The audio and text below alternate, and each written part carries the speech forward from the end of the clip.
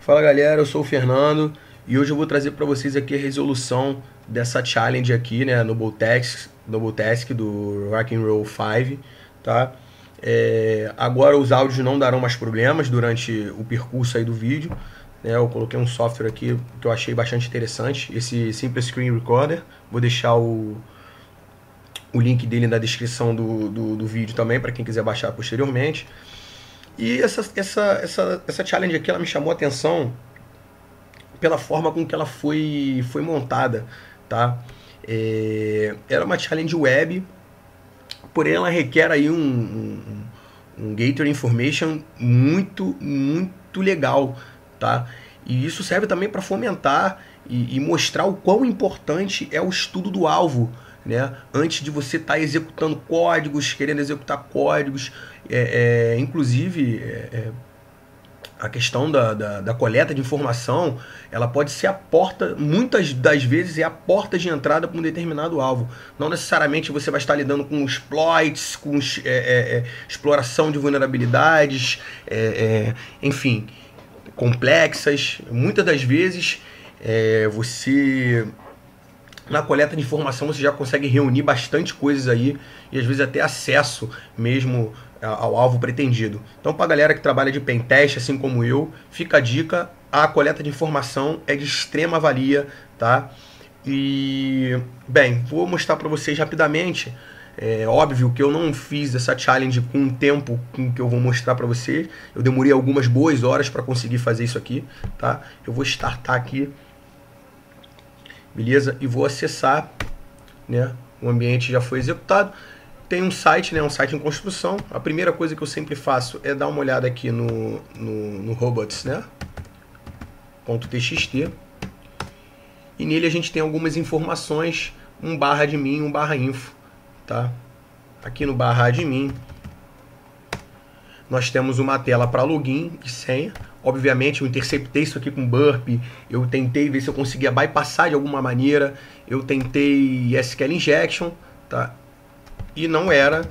Aqui no infos.txt nós temos uma senha, um usuário e senha e uma observação. Não esqueça o campo alternativo é necessário.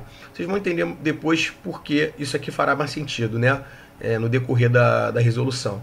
É óbvio que a primeira coisa que, quando eu encontrei isso aqui, que, que eu tentei fazer foi acessar é, com esse usuário em senha que eu encontrei, tá certo? Usuário lipmob e essa senha aqui.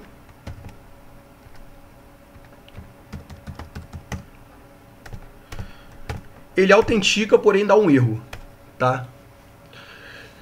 E se a gente for prestar atenção aqui nas dicas que tem dessa challenge, ela fala o mundo lá fora. Existe uma frase da Abraham Lincoln que diz: é, Me dê seis horas para derrubar uma árvore é, é, e eu passaria as quatro primeiras amolando machado. Isso faz a gente pensar o seguinte, cara: a coleta de informação ela, ela, é, ela é tão importante, mas tão importante que quando a gente for para executar, a gente não precisa de tanto tempo, porque a gente já tem, já está munido de informação. Então essa frase faz a gente remeter essa é, é, trazendo pro, pro, pro, pro mundo de segurança da informação, ela faz a gente ter essa, essa linha de raciocínio. E realmente é, é, é, o, é, é o que é, né? É, né? No caso.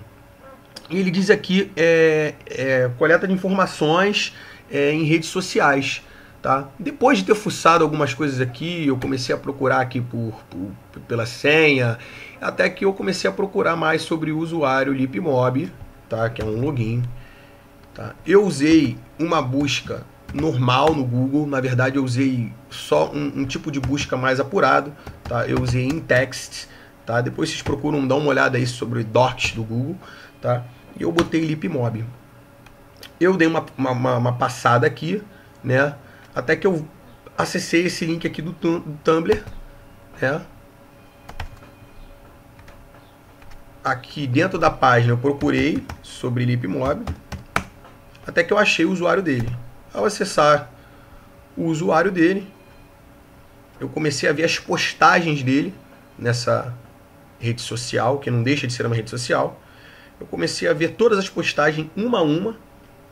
Isso custou um tempo, eu fui olhando detalhe por detalhe tintim por tintim, até que eu encontrei essa postagem aqui, tá? E nessa postagem eu vi que tinha uma tinha hashtag BoysWeb é, Hack and Roll HNR5 Refirer Information Gateway e Stalk. Então eu falei, opa, aqui tem alguma coisa a ver com é, tem alguma relação, né? Porque eu tenho uma hashtag de rock and roll e tenho aqui o Refirer. Falei, cara, Refirer. Será que eu não tenho que passar alguma coisa como Refirer? E tinha um link aqui em cima do YouTube, tá? O que que eu fiz?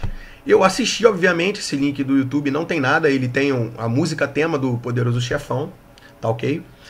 E eu comecei depois de boas horas, obviamente não foi com essa rapidez com que eu tô falando para vocês, eu simplesmente peguei esse esse link, certo? Deixa eu startar o burp aqui que ele não estava startado.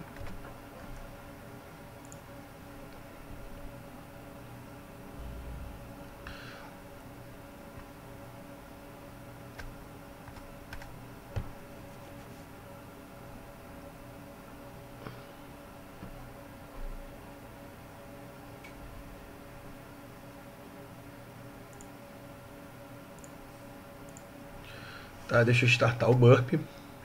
Beleza, ele está startado agora. Deixa eu ativar o proxy aqui.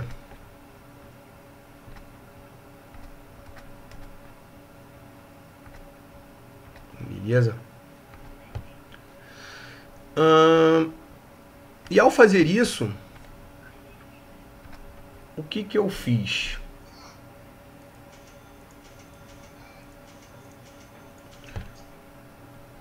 Ao startar, eu simplesmente peguei esse link, tá? Vi que aquele login e senha eram válidos, tá? Eu peguei esse link do YouTube.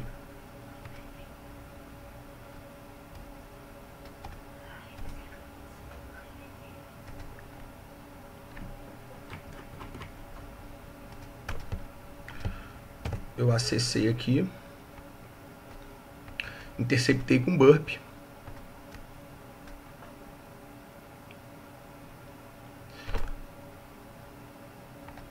E no momento em que eu interceptei, eu passei esse esse link aqui no meu no meu header, né? HTTP, no, mais especificamente no referer, e dei um forward. E eis que dropou a minha flag. É óbvio que eu não cheguei a essa conclusão nesse passo rápido que eu estou mostrando para vocês. Eu demorei umas boas horas para descobrir isso, para chegar a esse ponto. É, essa, essa challenge não requer nenhum nenhum nenhum nenhuma, nenhum tipo de exploração avançado, mas é de extremamente importância. Eu achei muito interessante, muito legal por ela trazer essa parte de coleta de informação, tá? Muitas das vezes, inclusive eu trabalhando aí o tempo que eu tenho com segurança da informação como pentester, é, a maioria das vezes que eu vi é, acesso é, é a sistemas, acesso não autorizados, muitas das vezes foi por descuido de usuário, né? O usuário é o elo mais fraco e muitas das vezes também essa parte de coleta de informações, que às vezes são informações que são, é, é, são expostas acidentalmente ou por falta de, de conhecimento por parte de usuários. Tá ok, gente? Então fica essa minha dica aí. Um abraço e até mais.